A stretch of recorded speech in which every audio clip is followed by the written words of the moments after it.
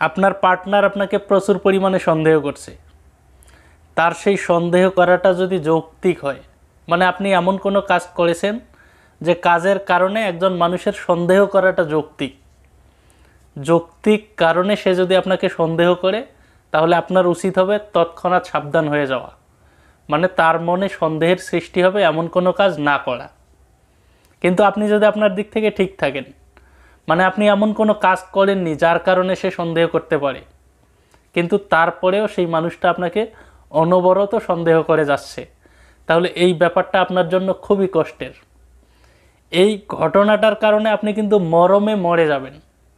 সে মানুষটা আপনাকে অহেতুক সন্দেহ করার কারণে আপনি ভিতর থেকে দুমড়ে মুচড়ে ভেঙে পড়বেন। তাহলে এই অবস্থায় আপনার কাজ হলো কি? সেই মানুষটার সন্দেহগুলোকে ভেঙে দেওয়া। আর কীভাবে? তার সন্দেহগুলোকে আপনি ভেঙে দিতে পারেন। সেই বিষয়ে এই ভিডিওতে আমি বিস্তারিত আলোচনা করব। ভিডিওটি শেষ পর্যন্ত দেখতে থাকবেন। দেখুন, তার সন্দেহ ভেঙে ফেলার জন্য আপনার প্রথম এবং প্রধান যে শর্ত, সেটা হলো আপনাকে নিজে ঠিক হতে হবে। মানে আপনি যদি নিজে অন্যায় করেন, তার সাথে প্রতারণা করেন, তার অজান্তে খারাপ কাজে লিপ্ত থাকেন, তাকে বিভিন্নভাবে ঠকান, তাহলে তো সেই মানুষটা যদি বুঝতে পারে বিষয়গুলো, আপনাকে তো সন্দেহ করবেই, তাই না? এটা খুবই স্বাভাবিক একটা বিষয়। কিন্তু আপনি যদি ভিতর থেকে ঠিক থাকেন মানে তার সাথে প্রতারণা না করেন, তাকে কোনোভাবেই না ঠকান, কিংবা তার প্রতি অন্যায় হয় এমন কোনো কাজ না করেন, তাহলে এই টিপসগুলো আপনার জন্য। তার মানে আমাদের প্রথম এবং প্রধান শর্ত হলো আপনাকে নিজেকেই ঠিক হতে হবে, ভিতর থেকে সঠিক থাকতে হবে। তাহলে আমার এই টিপসগুলো আপনি তারপরে প্রয়োগ করতে পারবেন। প্রথম শর্তটা আপনি যদি ফুলফিল করতে পারেন তাহলে ভিডিওটি আপনি কন্টিনিউ করতে পারেন। এবার চলে যাচ্ছে মূল আলোচনায়।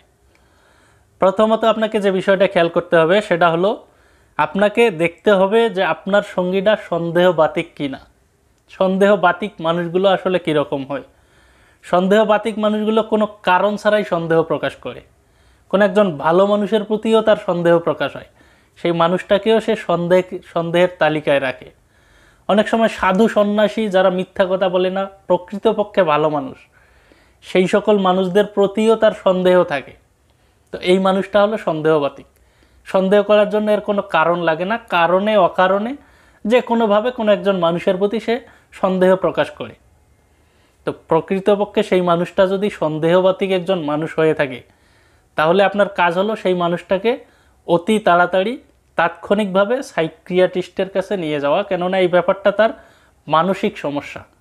সে মন থেকে সন্দেহবাতিক বিষয়গুলোকে সে মনে লালন করে, মনে ধারণ করে, যার কারণে কোনো কারণ ছাড়াই সে আপনার প্রতি সন্দেহ প্রকাশ করছে।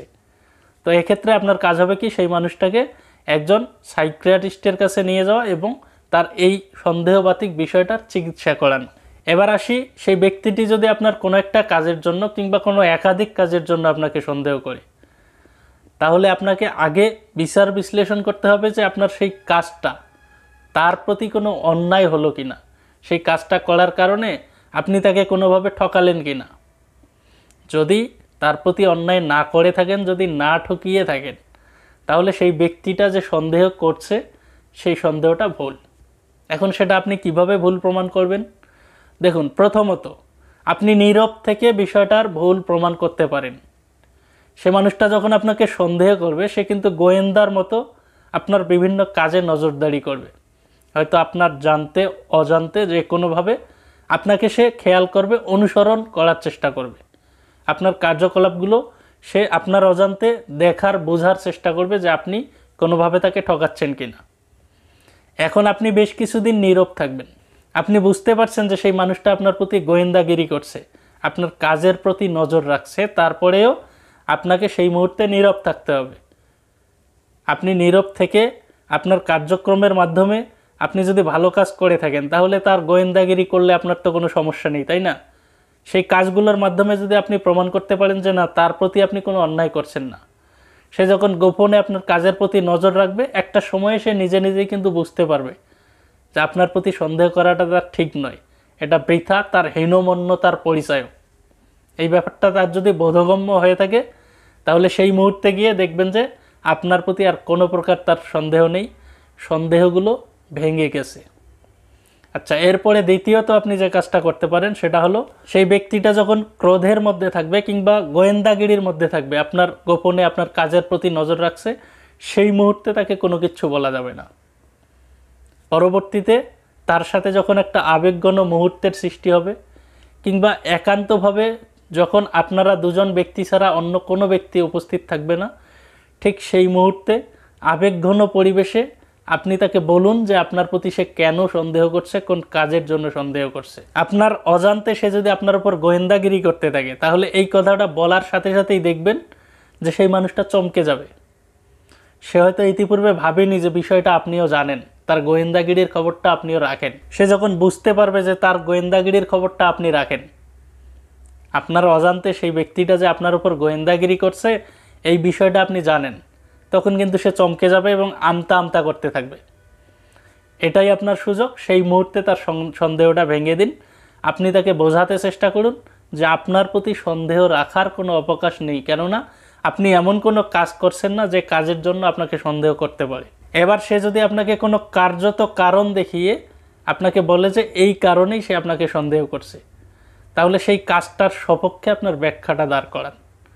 সেই কাজটা যে তাকে ঠকানোর জন্য নয় কিংবা তার সাথে প্রতারণা করার জন্য নয়, সেটা সুন্দরভাবে তাকে বুঝিয়ে দিন। আমার মনে হয় সেই ব্যক্তিটা যদি আপনাকে বিন্দু পরিমাণ ভালোবেসে থাকে, আর আপনি যদি আপনার কাজের সপক্ষে যুক্তিতে, যুক্তি দিয়ে তাকে বোঝাতে পারেন, তাহলে আমার মনে হয় তার সন্দেহটা সেখানেই ভেঙে যাবে। দেখুন, যুক্তির ঊর্ধ্বে আসলে কোনো মানুষ নেই।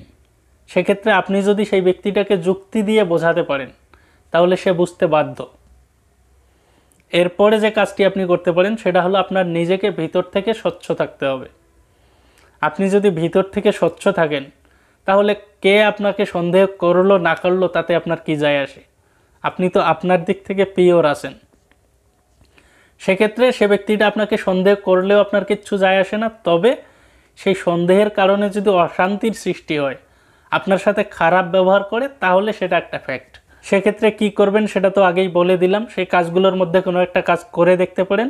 আর যদি সেই সন্দেহের কারণে কোনো ধরনের অশান্তি সৃষ্টি না হয়, সেই ব্যক্তিটা অকারণেই অহেতুক মনে মনে আপনাকে সন্দেহ করছে, তাহলে আমার মনে হয় বিষয়গুলো নিয়ে আলোচনা না করাই ভালো হবে। আপনি আপনার দিক থেকে স্বচ্ছ থাকবেন। সে সন্দেহ করতে করতে যখন দেখবে যে আপনাকে সন্দেহ করার মতো কোনোই অবকাশ নেই, সন্দেহ তৈরি হওয়ার মতো এমন কোনো কাজ আপনি করছেন না। একটা সময় এসে হাঁপিয়ে গিয়ে তার সন্দেহগুলোকে ভেঙে ফেলবে। আর যদি সেই ব্যক্তিটার মানসিক সমস্যা থেকে থাকে কিংবা সেই ব্যক্তিটা সন্দেহবাতিক একজন মানুষ হয়ে থাকে, তাহলে আমার পরামর্শ হলো তাকে সাইক্রিয়াটিস্টের কাছে নিয়ে গিয়ে তার মানসিক চিকিৎসা করানো।